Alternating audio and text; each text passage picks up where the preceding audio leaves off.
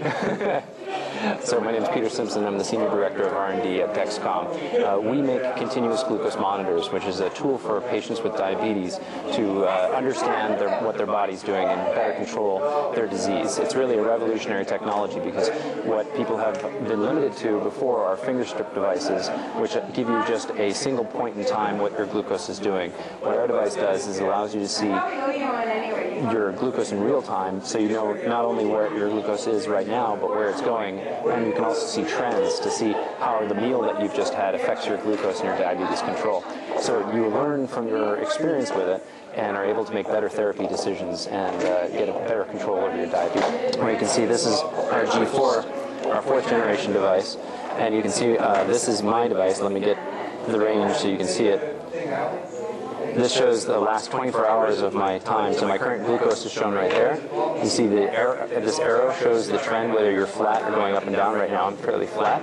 And you can see that's my breakfast right there and my lunch right there. So you can see the glucose go up and down and you can understand how that how your activities impact your diabetic control.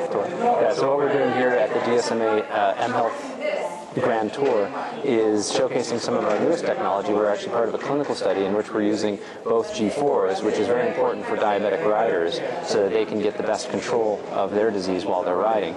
Um, they're wearing our Gen 4 device, but we're also doing a clinical study with our Gen 5 device. And this device um, allows glucose to be displayed directly on cell phones and then also broadcast to the cloud so it can be monitored remotely of the cell phone device where you can see the same glucose profile.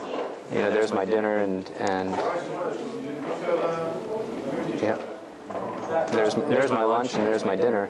You can see again the glucose profile. And then this can be uh, observed remotely. This can connect to the cloud and uh, you can see, you can have your, your doctor, your physician, or uh, another application for this that's very beneficial is for um, parents who have children with diabetes. Uh, imagine that the child could have one of these devices, and then on the parent's cell phone, they'll be able to see exactly what's going on with their child from anywhere in the world, any time of the day. They just click on their cell phone and will be able to see what's going on with their child who has diabetes.